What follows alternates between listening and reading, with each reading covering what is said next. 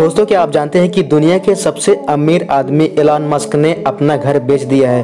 Friends, आपको बता दूँ कि एलन मस्क ने अब नया घर खरीद लिया है। वे इस समय नए घर में शिफ्ट हो चुके हैं और नए घर में शिफ्ट होने के बाद उन्होंने अपना पुराना घर 226 करोड़ रुपए में बेच दिया। गाइस हमारे देश के वैज्ञानिकों को एक रिसर्च में डायनासोर की पूछ मिली है, जो कि चौहत्तर मिलियन ईयर्स पुरानी है, यानी कि चौहत्तर साल पुरानी हो चुकी है। फ्रेंड्स हाथी को हम सबने देखा है, लेकिन क्या आप जानते हैं, हाथी अपने दिन का 80 परसेंट समय खाने में बिता देते हैं। एक हाथी एक दिन में औसतन 150 से 160 किलो चना खा सकते हैं और एक दिन में औसतन 40 से 45 लीटर पानी पी जाते हैं। दोस्तों, भारत के प्रधानमंत्री नरेंद्र मोदी के काफिले में मर्सरीज कंपनी की एक नई कार शामिल की है, जिसका नाम में बेच है और इसकी कीमत कुल 12 करोड़ रुपए है। दोस्तों, ऑटोमोबाइल की कंपनी आनंद महिंद्रा का दिल कितना बड़ा है, आप इसी बात से अंदाज़ा लगा सकते हैं।